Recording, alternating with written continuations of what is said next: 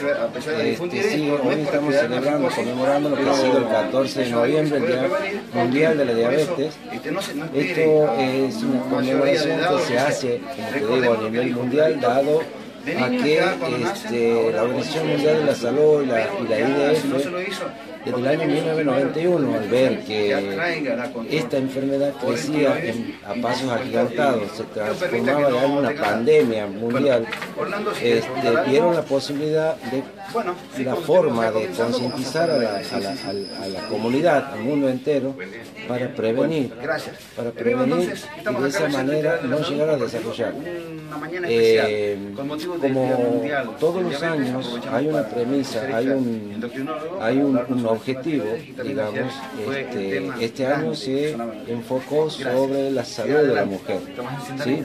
Eh, dado a la presencia de mucha, de la aparición de diabetes gestacional y los riesgos que acarrean en el futuro para, ese, para, esa criatura que está por nacer. Eh, vamos a, trabajar, estamos trabajando aquí en el Centro Integral de Salud Banda, hemos formado el servicio de diabetes y endocrinología, está compuesto este, por médicos, enfermeros, nutricionistas, eh, que en trabajo mancomunado eh, eh, realizamos actividades tanto educacionales como este es uno, este es el comienzo, por ejemplo que lo vamos a hacer en cuatro etapas, damos el puntapié inicial conmemorando el Día Mundial de la Diabetes. Está toda la, comunidad invitada, esto lo vamos a realizar los viernes los, viernes, los cuatro viernes siguientes para este, trabajar, aprender y prevenir lo que es la enfermedad, la diabetes mellitus.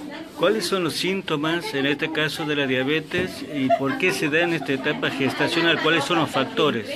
Mira, los factores, eh, hay factores eh, predisponentes, los factores hereditarios, sobre todo la obesidad, el sedentarismo, la mala alimentación, la falta de, actividad física, eh, para lo cual eh, también tenemos un trabajo en conjunto con el sector, con el servicio, el área de maternidad, ¿sí? a donde se hacen las, detecciones de la diabetes gestacional. La diabetes gestacional es una diabetes que aparece durante el embarazo. Pasado el parto, suele desaparecer, pero queda en estado latente. Sería dentro de lo que hace la clasificación de la diabetes que la conocemos, diabetes tipo 1, diabetes tipo 2 y diabetes gestacional. Es una diabetes tipo 2, pero tratada como una diabetes tipo 1. ¿Qué quiere decir? Diabetes tipo 2, todo lo enfocamos en el tratamiento con medicación oral. La diabetes tipo 1 se trata solamente con insulina.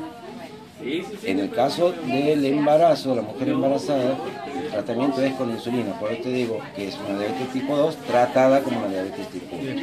En el caso eh, de una mujer que está en gestación, eh, ¿tienen algunos riesgos cuando eh, se le detecta diabetes? Claro, los riesgos son tanto para la madre como para el, para el niño. Eh, estos super bebés que aparecen, que muchas veces causan eh, cierta eh, asombro y alegría, decir un super bebé de 5 kilos, un super bebé de 5 kilos y medio, es un factor de riesgo muy importante para el desarrollar en un futuro diabetes mellitus.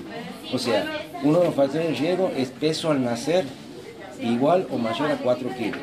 Imagina, estamos hablando de un peso de 5 kilos, 5 kilos y medio, ¿cuánto más es el riesgo, no? Este, entonces son este, bebés macrocefálicos ¿sí? que se producen por lo general por el aumento de, glucosa, el aumento de, glucemia en las madres, lo que produce el efecto en el feto.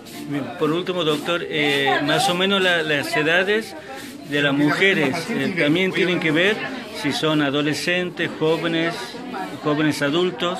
Mira, el tema de la edad, lógicamente, el factor de riesgo existe. Si este, a edad temprana, un embarazo a edad temprana, o bien a una edad avanzada. Siempre que hablamos de una edad avanzada, hablamos de embarazo de riesgo. Toda paciente que presente diabetes gestacional es un embarazo de riesgo. Al igual que una mujer diabética que padece diabetes, este, que se embaraza, es un, es un embarazo de riesgo. La edad tiene mucho que ver, por lo general menos de 18 años y mayor a 38 ya entra a un embarazo de riesgo. Gracias. Muchas gracias a ustedes por el apoyo.